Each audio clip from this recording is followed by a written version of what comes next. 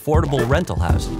The program serves seniors, the handicapped, and low income working people like first responders, teachers, and nurses. All 35 of our affordable housing communities in the state of West Virginia have been financed through the West Virginia Housing Development Fund. You see a lot of different reactions when you come into one of our properties. I've lived here just a little over a year. Very happy with it. You know that they have a, a, safe, decent place to live. And you walk the halls and they're having Bible study or a Tupperware party or doing a puzzle together in the community space. It's very rewarding. I love everything about my apartment.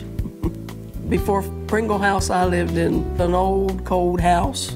Then I saw this being built, so I started inquiring about it, and I'm glad I did. During site selection, we take into account the local amenities for the residents, whether it's grocery store, pharmacy, churches, schools, etc. The grocery store is just right across the street, and I use it as my pantry almost.